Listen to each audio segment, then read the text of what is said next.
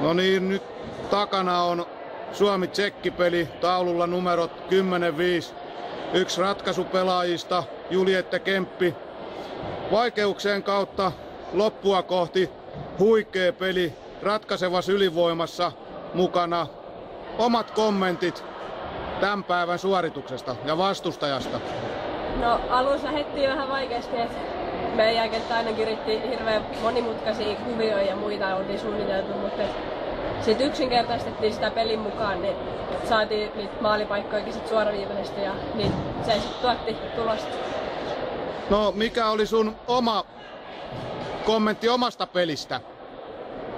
No aluksi oli vähän takkuilevaa, ettei löytynyt sitä omaa, sitä mihin pystyy todellisuudessa, mutta sitten se pikkuhiljaa rupesi tulee, kun löydettiin ne oikeat paikat siellä ja siitä se sitten alkoi. Selvä. Mä päästän sut joukkueen mukana iltahommiin ja